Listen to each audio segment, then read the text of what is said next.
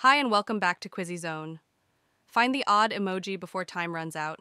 Before you start, please subscribe to this channel for more exciting challenges. Now let's dive in. Find the odd emoji.